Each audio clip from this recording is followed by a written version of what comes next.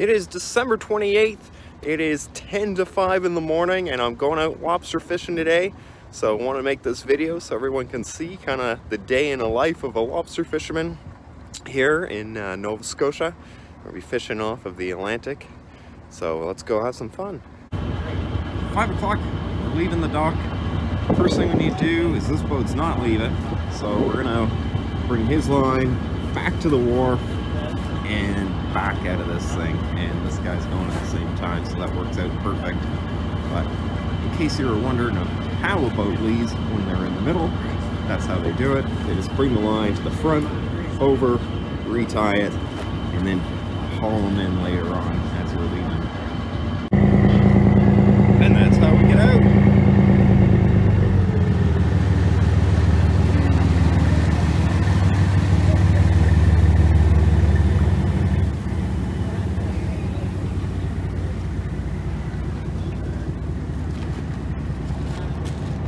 feet.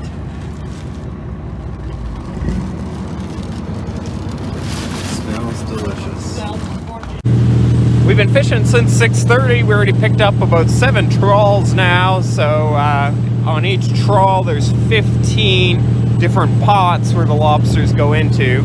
And uh, finally, the sun's come out enough for me to film. So now I'll film us picking up this next set of pots uh, so you guys get to see what they do, and I'll be standing here narrating this, kind of like uh, Morgan Freeman. So, hope you enjoy the narration. If it is too windy, I will uh, mute the rest of the video just for those clips, uh, so you guys don't have to hear the static in the mic, but we'll see how it turns out.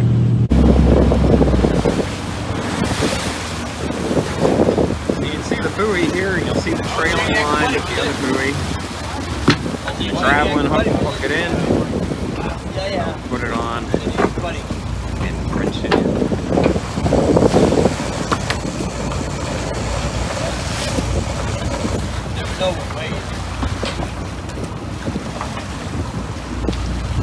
And buoys are marked with the name of the captain or the boat. Uh, sometimes they leave a phone number in it because storms will fall off and then wash along the shore. And people will find them and uh, call so they can get the buoy back. Because Those buoys are about 100 bucks to 200 bucks a pop, so you don't want to be losing them.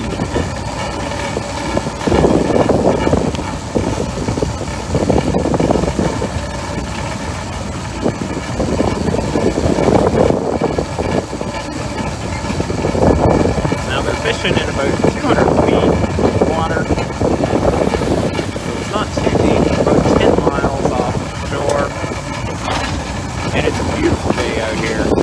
No complaints. Perfect day to be a Duracell boat.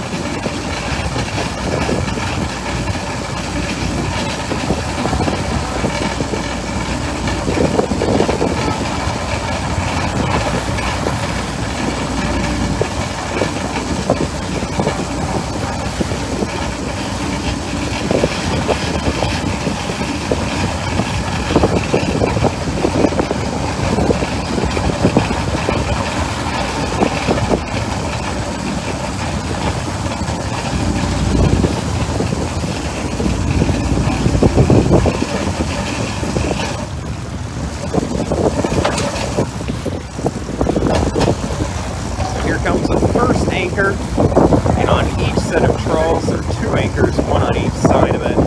So if they do lose uh, one or get it tangled in with someone else's gear, they can always grab the other anchor on the other end of the string.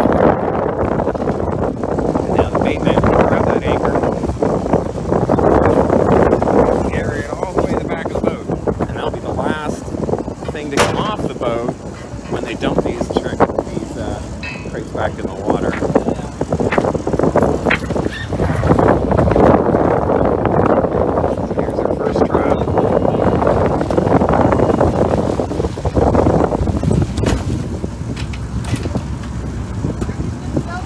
lots of good things in there. Got some crab, got a fish, and a few lobster.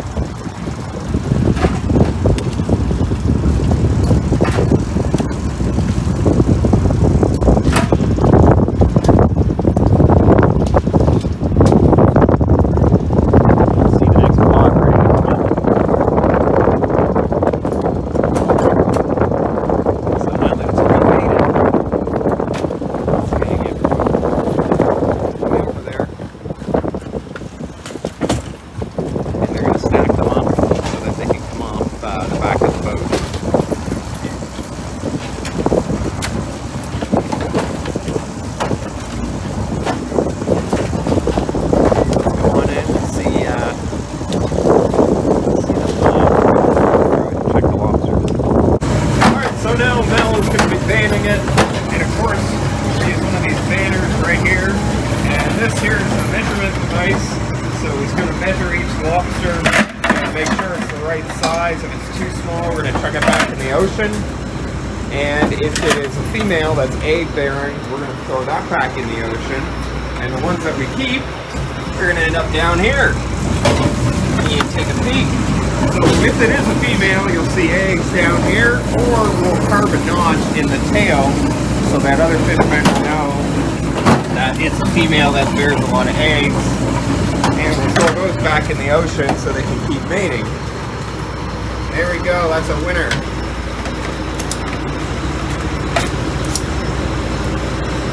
Yep. So we got a male. And he's the right size. Some money in the bank, right Mel? Yeah. Yeah. That's the payday.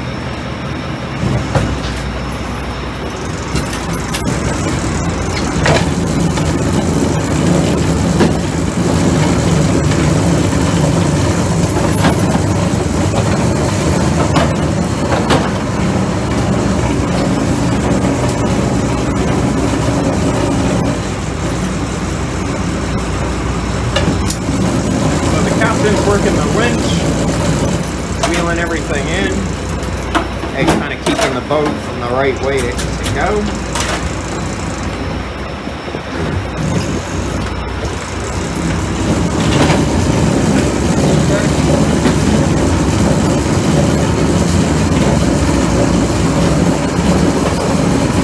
Bait man fills up that trap with new bait and moves the trap to the back of the boat.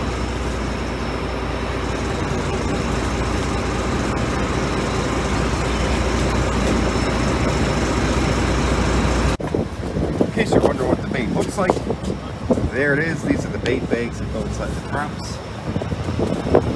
And some other fish. Lobsters pretty much eat anything. And then these are the ones that are going to go right back in the ocean here. You can see they're already baited, ready to go. Be lined up.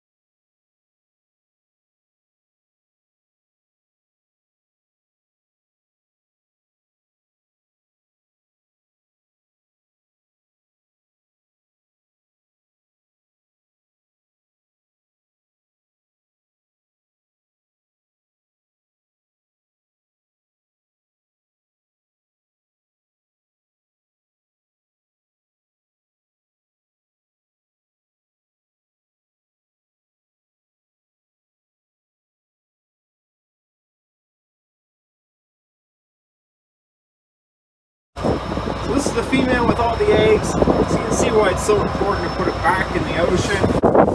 Put it on cable. Look at it lose the track. You the track. Broke on that one. So the captain's fixing it now.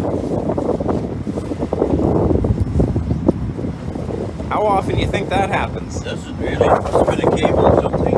Oh, okay. I didn't know we had too many underwater cables here. Uh, fish draggers. Oh, okay. Okay. Here, I was thinking like internet cable. Wrong No, kind no, of cable. no, you can tell I'm not a fisherman. so now that that's fixed, we're gonna tow the anchor and get back into position. I'm gonna stand out of the way.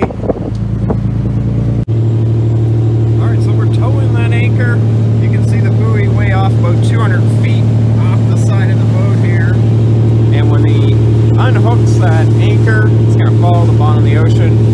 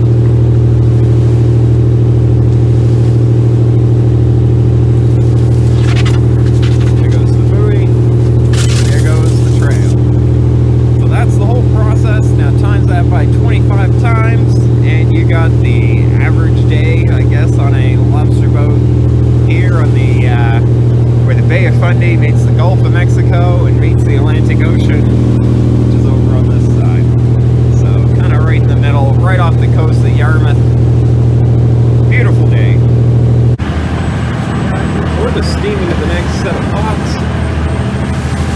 No, that's the other.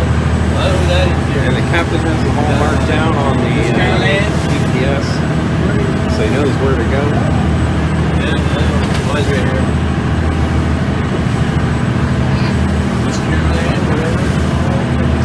It's almost the same color, but Shirley. You keep changing.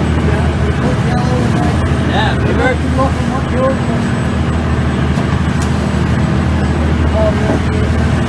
Remember we had gray, then they had gray, now you got some yellow on there like got.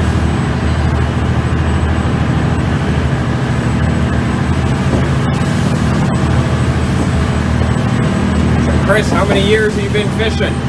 40. 40 odd. Wow. A Time to retire. Yeah.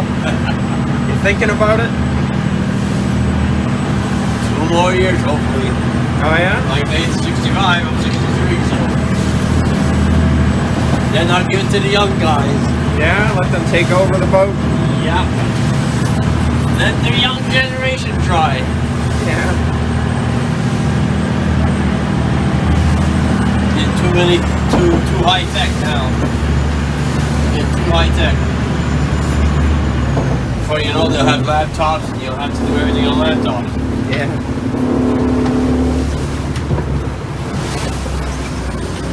And they hooked it.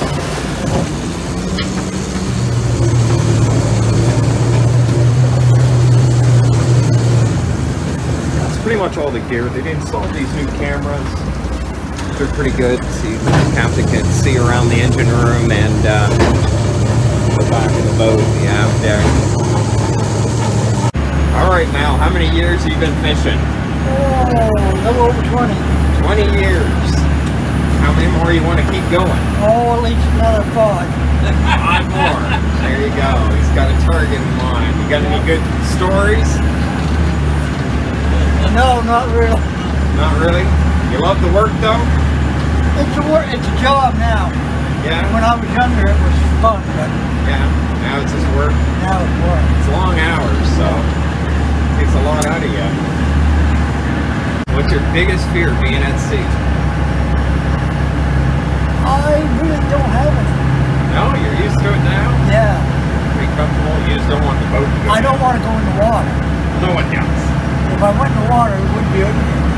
that would be over for me. I think you got about 15 to 20 minutes out here because the water is so cold. That's all you got. Yeah, I, I don't really know. I, Yeah. Like the water. you guys all look out, out for each other. So you, it's pretty safe. I I like so. You have trust in your teammates and all like that, and that's basically how you got know. Yeah. I think uh, lobster fishing is the most dangerous job in Canada right now. There's more deaths in lobster fishing than I think anything else. Uh, I don't know, mining, I would say. Yeah, You know, pretty up there, Up too. there too with it. Yeah. Well, it's definitely a difficult job. Yeah. Uh, the, the thing of it is, it can change in an. That's, that's the thing with it. It can be calm, by the end of the day, it can blow like an open. Yeah. So you can't, you can't really tell. And you get some rough seas. Yes, Yeah. All fun. especially when the dollars, you know, Yeah. price of lobster's up. Yeah, Alright. Well, Ten- thanks, Mel. all right. Got a few more to go get before heading back.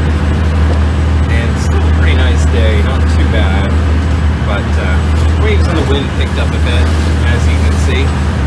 But still, all in all, not too bad of a day. And temperature is good. At uh, I think it's plus two Yeah. or so, so probably around 34 degrees Fahrenheit. 2 degrees Celsius, so not bad at all out here, but it's a different kind of cold. It's a wet cold that kind of gets right into your soul, and uh, it's hard to stay warm when you're out there in the elements. You guys a quick tour of the vessel. Their lunch area, coffee maker, stove and a microwave, little sitting area. And down here, it's nice and toasty. You see the beeper, and have some storage and a little dinette. Now, when they're steaming out, uh, currently they're only 10 miles away from shore, so it only takes about an hour to get there. But the crew will jump in their bunks because it's 5 in the morning and uh, sleep until they arrive uh, to their first uh, trawl haul. So it gives them a little bit of a rest. And uh, definitely cozy down here. Nice and toasty warm too. So in case you have not seen a lobster up close, I will show you him. this is a small one that we're throwing back in the ocean. But uh, basically they swim really, really fast because they scoop themselves this way and then they'll walk on the bottom of the uh, ocean floor with their little feet. They have everywhere. All of these too. Move along with them. Even these little pinchers. And you do not want to stick your finger in there because they are really, really, uh, will really hurt you. You'll have a really bad day. But according to the University of Maine, they actually do have feelings and emotions.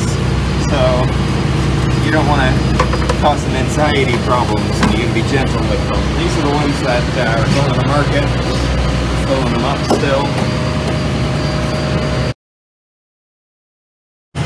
So we just got finished uh, hauling the last bit of it. So we got all of our lobsters in these pots and now we're going to go to John's Cove and sell them.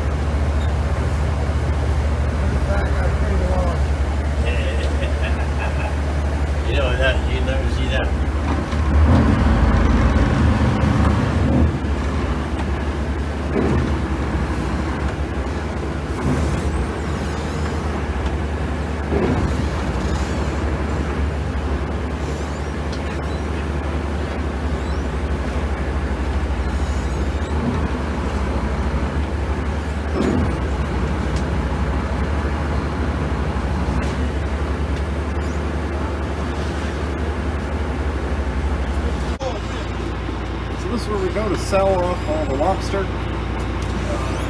We'll unload it, and in here is going to be the scales, and they'll weigh those crates, and, uh, and that's that. So now after those crates are weighed, those lobsters are going right into those floorboards, right underneath this wharf, so they can stay fresh until the truck's ready to load them up. Then they get sold and get sent all over the world. It's kind of cool. Huge business here in Yarmouth area. So this is also where we get the bait that they're going to use next time they go out. So depending on how many days between until they go out again, they'll either put it underneath the boat down in that hatch, or they'll leave it out if they're going to go out pretty soon. Many pounds did you catch today? Six eighty-six. 686 pounds, and what's the price? Eleven dollars. $11 a pound. So you can- Jackpot. Ding ding.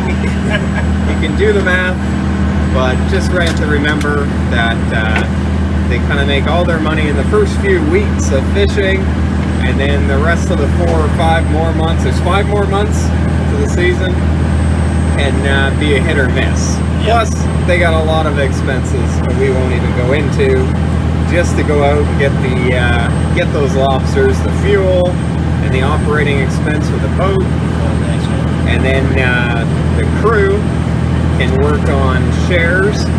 So each one of the crew have a share right Yeah. into it, and then goes to the company. the rest goes to the owner of the boat. Yeah. Yeah, and then uh, the banners normally make a day wage, Yeah. and that can range between what one one fifty to No, no, two 300 now. three hundred now. So it's gone up in the last few years. 300 dollars a day. Three hundred bucks a day, that's guaranteed, and the rest of the crew are all on uh, percentage. So depending on what they come in with, That's their paycheck. that's their paycheck, and it's pretty good. But uh, extremely hard work, and it's about five o'clock now. We're just heading down the harbor to the wharf to tie up and go home, and then they're gonna do it all over again in how many days? Two days. In two days, they're back at it. So good day today, I'd say.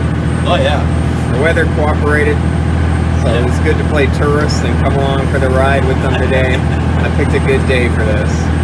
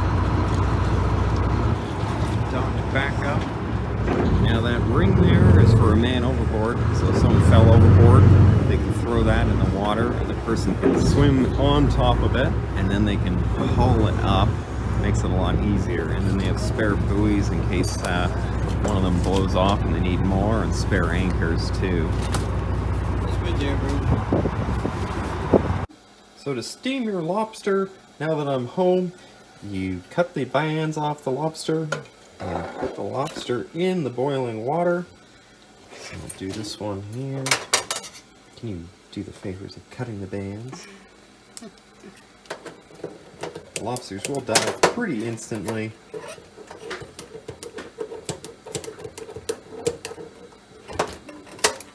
There you go. And add them to the pot, please.